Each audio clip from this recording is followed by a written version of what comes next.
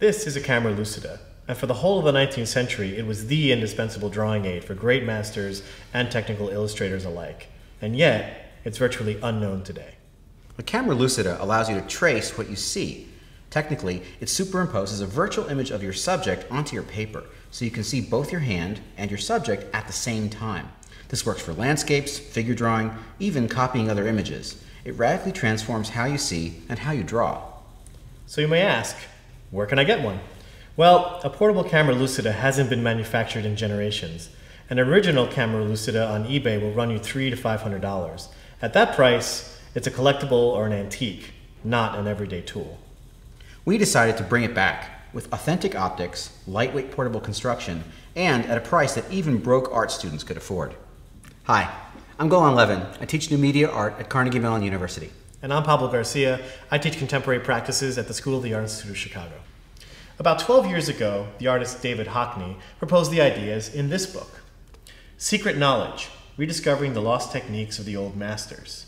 In it, Hockney presents compelling evidence that the old masters used various optical devices like the camera obscura, concave mirrors, and the camera lucida to help create their masterpieces.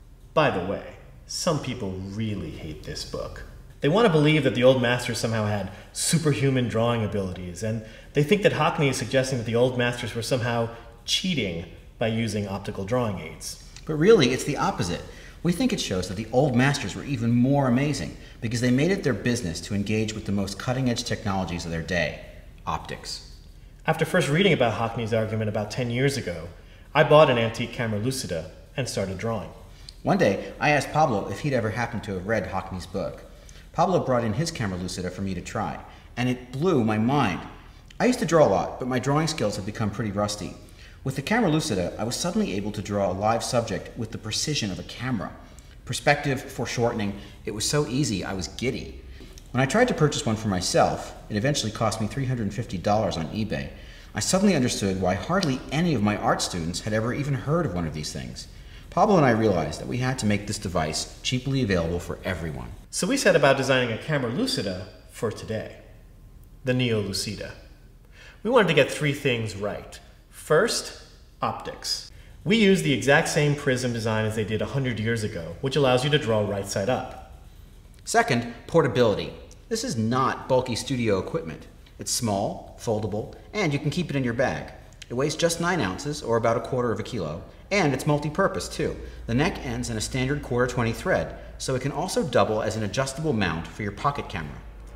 And third, price.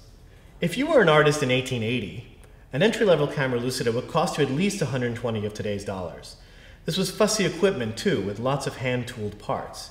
The NeoLucida is designed with modern off-the-shelf components and just a few custom manufactured pieces to replicate the precision of the classic design, but at a fraction of the price. In fact, the NeoLucida is the least expensive camera lucida of all time. This is your only chance to get a NeoLucida. Once we make this batch, we're done. After that, we'll open source our designs, CAD files, and manufacturing information. We're doing this as a provocation, not as a business. We genuinely believe that using a camera lucida will profoundly change how people see, how they draw, and how they think about art. But to produce the NeoLucida, and to keep costs as low as possible, we have to leverage today's mass production marketplaces. Our suppliers require minimum orders of 500 pieces for things like prisms and thumb nuts. And that's where you come in. By supporting our project, you'll help us in our dream to transform the studio arts classroom, revive an amazing tool, and educate people around the world about the history of art and technology. One last thing. We're really interested in how the NeoLucida is used, and we want to involve you in our project. Each NeoLucida comes with an addressed prepaid postcard. Do a drawing, send it in the mail, and it'll go into an online archive and may end up in a book of your NeoLucida drawings. Thanks. Thanks.